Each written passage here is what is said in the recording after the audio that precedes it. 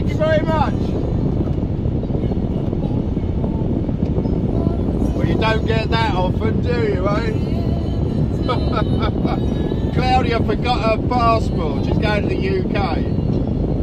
Uh, it wasn't a case of she had an ID card, yeah, but um, obviously a Maltese ID card. She just forgot she couldn't travel to the Take the UK next on, right. on just an ID card. So I've just rushed her. But the police coming out of an airport to pick up somebody's passport, I don't think so. Do you? In 400 meters, keep left.